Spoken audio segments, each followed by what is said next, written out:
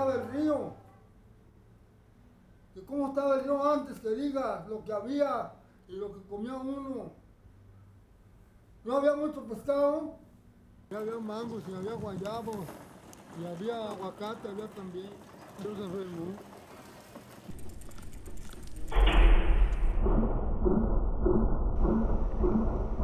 Y allá, se ve que el carrizal, ahí, ahí se llama el cagadero. Allí caía el drenaje de, de- las casas, de las cuadras. Entonces ahí pescábamos porque pues, pues como todos se arrimaban muchísimas carpas y unos...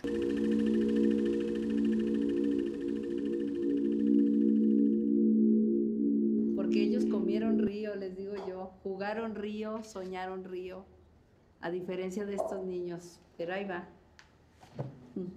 Échale, Carnelo, platícale. Santa. Bueno, yo, yo soy Juan.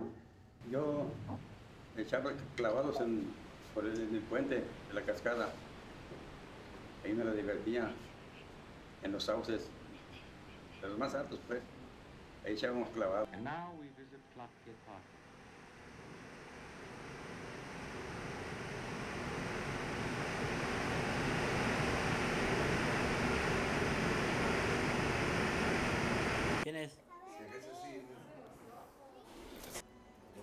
De la cascada, ¿no? De, de- de- se conocía como el Niágara mexicano.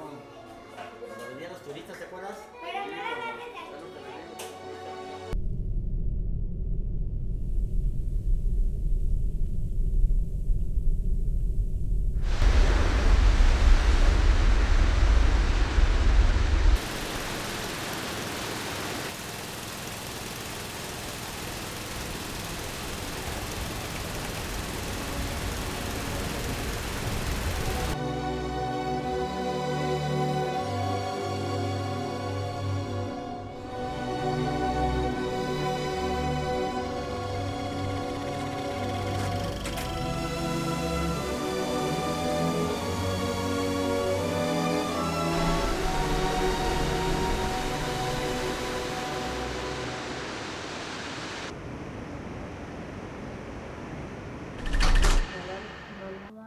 El río también se viene para acá y todo. Y luego a veces cuando está lloviendo me da todo el olor hasta luego se va para acá, se viene hasta acá.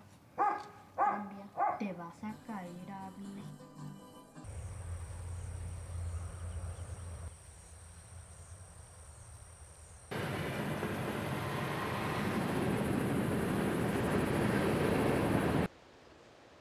río daba vida, el río estaba lleno de fuerza, que incluso donde estamos ahora sobre las piedras era agua cristalina.